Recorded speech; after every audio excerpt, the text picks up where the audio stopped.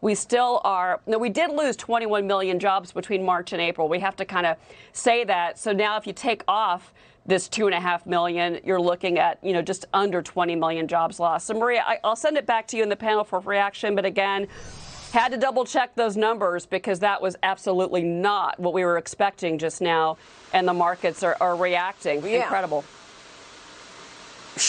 Cheryl, we were all giving a head fake. We were all saying, let me go look at my notes while you were looking at the numbers that were just breaking.